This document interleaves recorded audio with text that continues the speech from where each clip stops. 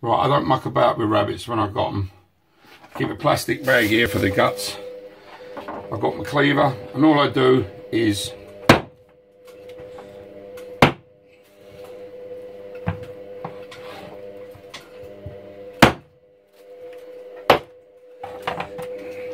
take the tail off, punch the skin, small slit in the skin,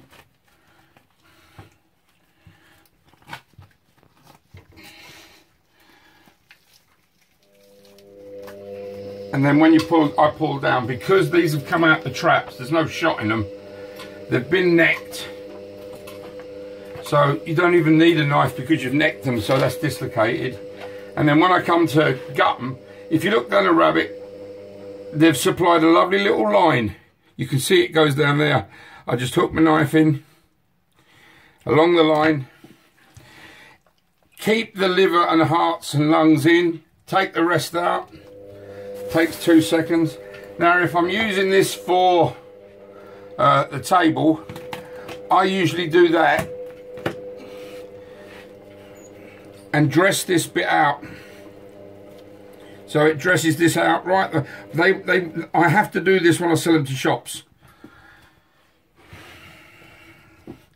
And that's the rabbit ready. All done.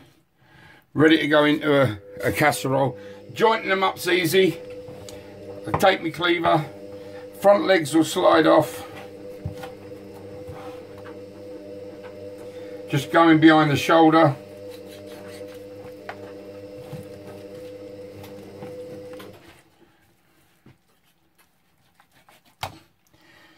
And then all I normally, normally do is cut it through there.